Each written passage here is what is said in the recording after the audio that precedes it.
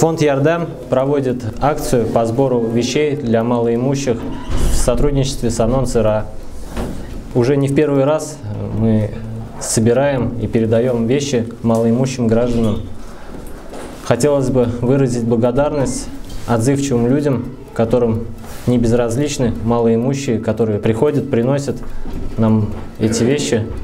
Мы вам очень благодарны, а еще больше благодарны те люди, которые эти вещи достаются. Все эти вещи отвозятся в село Сакуры, в мечеть Илчу.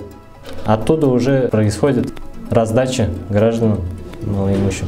Тот, кто хочет принять участие, могут принести вещи э, в благотворительный фонд Ярдам по адресу Серова 4А.